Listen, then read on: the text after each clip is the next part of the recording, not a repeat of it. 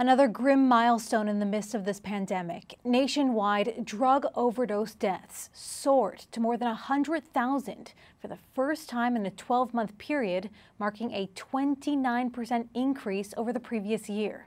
That, according to provisional data from the CDC, which is adjusted to account for delays in reporting.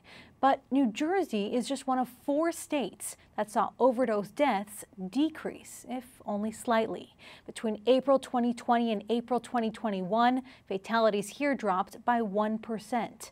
An estimated 2,918 people in New Jersey died of a drug overdose during that time period.